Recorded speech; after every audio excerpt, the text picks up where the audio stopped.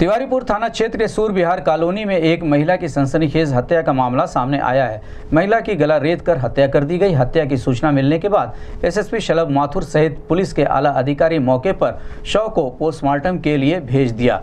और तफ्तीश में जुट गए। आपको बता दें कि तिवारीपुर थाना क्षेत्र के सूर बिहार कॉलोनी के रहने वाले सुनील सिंह अपनी पत्नी रेणु सिंह के साथ मकान बनवा कर रहते थे। महिला अपने ही मकान में ब्यूटी पार्लर चलाती थी। लगभग 20 साल पहले रेणु की शादी सुनील सिंह से हुई थी। रेणु का पति सुनील खेती करवाता था। गाँव पर काफ़ी लंबी खेती बाड़ी है। उसने उसको अधिया पर दे रखा था और उसी से उसका परिवार चलता था। मंगलवार की सुबह सुनील सिंह की पत्नी रेणु सिंह की किसी ने हत्या कर दी। हत्या के बाद से पूरे इलाके में सनसनी फैल गई। दिन दहाड़े हुई हत्या से क्षेत्र में अफरा तफरी मच गई। घटना की सूचना पर मौके पर पहुँची पुलिस ने शव को कब्जे में लेकर अपनी तफ्तीश शुरू कर दी। घटना के संबंध में गोरखपुर न्यूज़ से बात करते हुए एसएसपी शलभ माथुर ने बताया, पोस्टमार्टम रिपोर्ट आने के बाद स्थिति स्पष्ट हो सकेगी, उन्होंने कहा।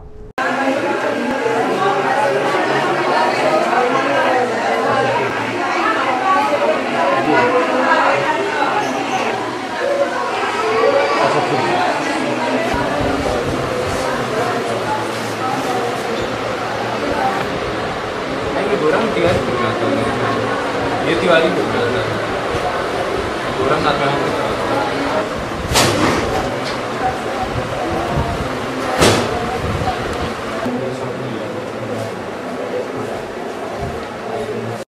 एक महिला की हत्या की बात ये सूर्य विहार कॉलोनी पड़ती है, थाना तिवारीपुर में, और यहाँ जो इनके हस्बैंड है, इनके द्वारा सूचना दी गई कि रोज़ सुबह मॉर्निंग वॉक पे जाते थे। साढ़े तीन से पाँच के बीच में और आज जब ये वॉक से लौटे हैं तब इनकी वाइफ की हत्या हुई। है संदर्भ में जो भी क्लूज हैं उसको हम लोग ले रहे हैं और शीघ्र इस घटना का अनावरण किया जाएगा। क्या कुछ लूटपाट भी सामने निकल के आ रहा है? क्या कुछ लोग सामान अभी फ़र्स्ट हैंड जो वहाँ पर एक अलमारी है वो थोड़ी डिस्टर्ब्ड है। और जो बाकी कमरे हैं उनमें कोई ऐसी चीज़ नहीं है लेकिन जिस कमरे में महिला की हत्या हुई उसके अंदर एक अलमारी ओपन है।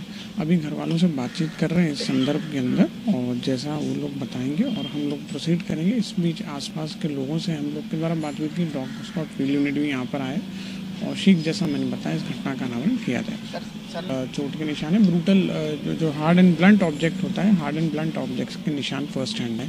बाकी पोस्टमार्टम के बाद और इसमें क्लैरिटी होगी।